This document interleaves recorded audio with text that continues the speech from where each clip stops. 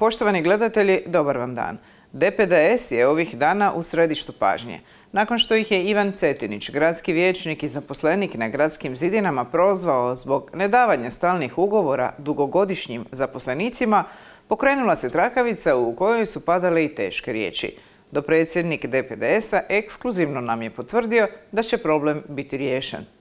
Ja evo, kod predsjednik vidim da je to pošlo malo sve u krivom smjeru jer je činjenica da smo mi, točno ja i gospođa predsjednica Renat Andijus, kad smo preuzeli tu dužnost i na prvom sastanku sa zaposlenicima, nažalost pred koronu, tad nismo znali da će početi ovaj cijeli problem, najavili e, cijelu promjenu sustava, odnosno najavili da će dio ljudi koji E, tako jako dugo rade, dobiti stalne poslove, odnosno stalni ugovor jer je to bila osnova.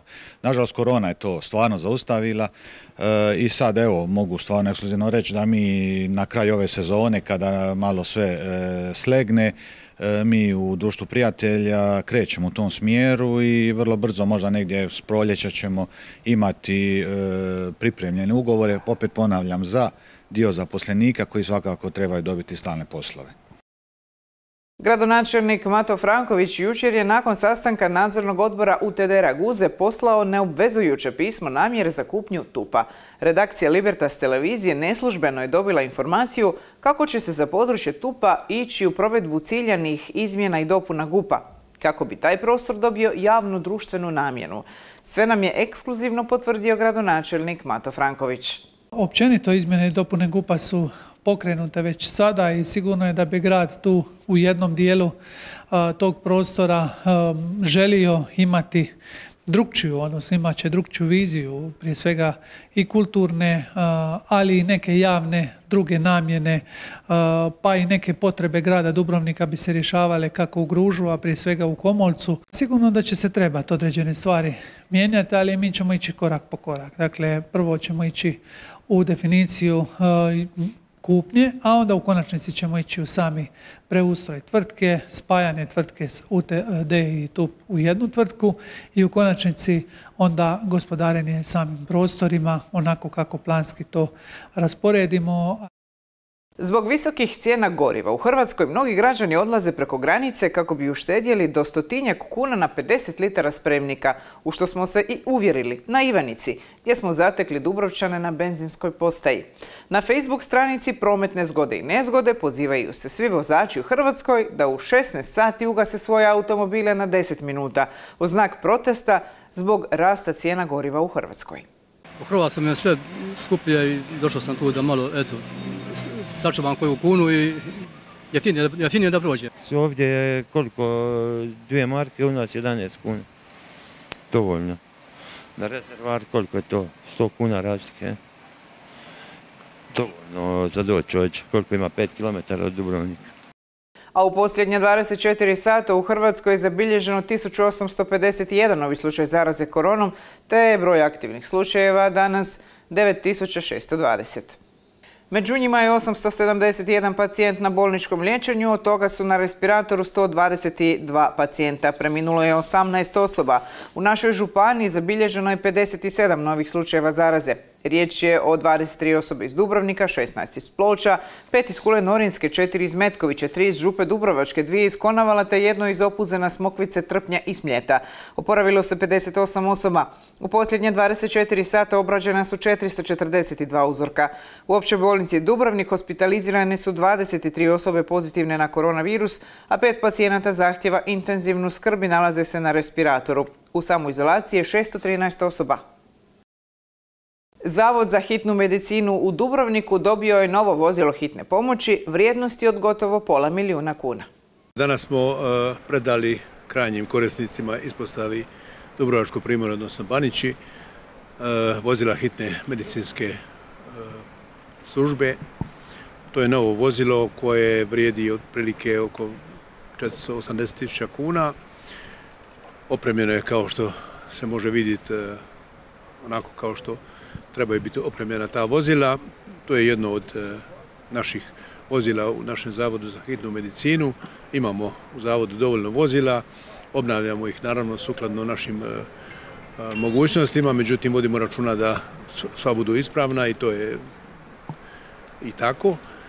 I mogu reći da je to jedan dodatni poticaj našoj hitnoj medicinskoj službi da uspješno obavljaju svoj posao. Listopad je mjesec svjesnosti o raku dojke s naglaskom na rano otkrivanje. Zavod za javno zdravstvo Dubrovačko-Neretvanske županije svake godine u sklopu nacionalnog programa prevencije sudjeluje u brojnim akcijama. Ove godine u suradnji sa projektom Do Motion 24. listopada u Dubrovniku će se održati utrka Lapad Run. O mjesecu svjesnosti raka dojke i spomenutoj utrci danas u emisiji na dnevnoj bazi govore doktorica Ankica Džono Boban i Alen Bošković. Ona, oni koji žele trčati i koji mhm. žele šetati e, mogu se prijaviti preko naše stranice domotion.com gdje će pronaći sve potrebne informacije. E, uvijek mogu kontaktirati ured DoMotion gdje će dobiti sve potrebne e, informacije u svezi onoga kako i na koji način pristupiti utrci. Znamo i svjesni smo da ima dosta ljudi koji nisu participirali na masovnim utrkama. Mi ćemo se ponašati u skladu s onim što lokalni i nacionalni stožer dozvoljavaju po preporukama, a oni koji žele biti podrška, oni mogu uvijek pristupiti kupovini nekog paketa pa onda biti podrška kao, kao navijač, to smo radili do sada i na našim utrkama e, e, u 5 km. A ako primijete da nisu, ne znam, dovoljno spremni da mogu odšetati svih tih 5 km, mi ćemo ih pričekati pa ako malo bude sporiji, nema nikakvih problema. Grad Dubrovnik najbolji je grad u digitalnoj spremnosti u kategoriji malih gradova prema analizi digitalne spremnosti hrvatskih gradova u 2021. u konkurenciji 20 hrvatskih gradova manjih gradova Dubrovnik je odnio prvo mjesto. E, možemo ponosno reći da smo u tri od pet kategorija kad gledamo ukupno zauzeli isto tako prvo mjesto.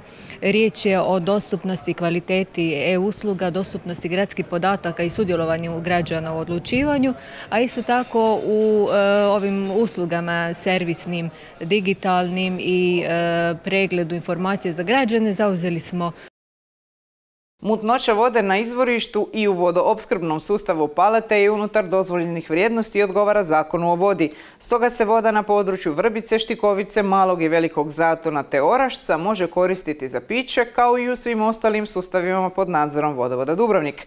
Kontrola i dezinfekcija se odvijaju redovito, a o svim promjenama vodovod će pravodobno obavijestiti potrošače. Vrijeme nam je vedro, ali hladno. Više u vremenskoj prognozi.